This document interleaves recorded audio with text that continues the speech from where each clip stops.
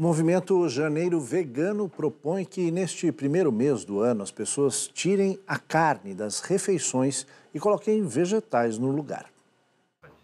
O café da manhã da Talita tem pão com requeijão de castanha de caju, geleia de fruta e pasta de amendoim.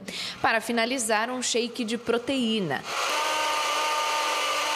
A Talita, que é vegetariana, busca agora a transição para o veganismo. Ela aderiu ao movimento Veganuary, que estimula os participantes a passarem 31 dias sem carne e nem derivados porque eu gosto muito dos animais, essa é uma causa que toca muito no meu coração. Eu quero é, que os animais não sejam explorados, eu quero que eles possam viver livres do jeito que eles têm que ser. E também pelo meio ambiente, né?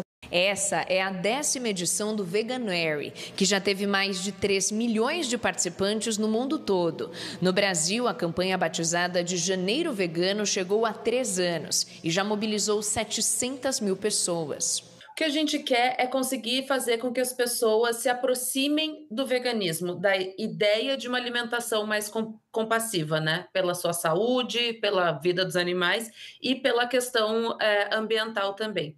Então, o que a gente quer é fazer essa ponte de aproximar as pessoas de conteúdo de qualidade, de informação sobre o que, que é uma seguir, né? Uma alimentação vegana. O site do Janeiro Vegano oferece receitas, sugestões de restaurantes e dicas do universo sem carne. Segundo o movimento, 28% dos participantes acabam mantendo a dieta mesmo após o fim do desafio e 80% conseguem reduzir em pelo menos metade o consumo de proteínas de origem animal. Quem opta pela dieta vegana deve ficar atento ao volume de ferro, vitamina B12 e cálcio no organismo. Por isso, é recomendado acompanhamento médico na transição. Por exemplo, quando eu pego um bife né, de carne vermelha de 100 gramas, eu vou ter pelo menos 30 gramas de densidade proteica. Quando eu pego 100 gramas de feijão, eu tenho só 8.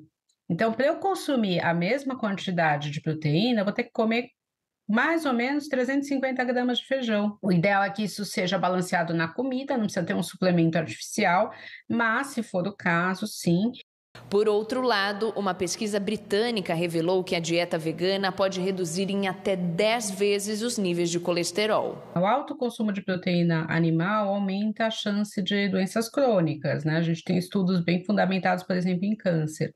Então, quando eu diminuo o consumo de proteína de origem animal e eu acabo equilibrando né, com as proteínas vegetais ou com alimentos né, de origem vegetal, frutas, verduras e hortaliças, eu tenho prevenção de várias doenças crônicas. Eu tenho mais disposição na hora que eu acordo, eu me sinto com mais vontade de praticar é, atividades físicas, eu corro, então eu sinto que isso também me ajudou.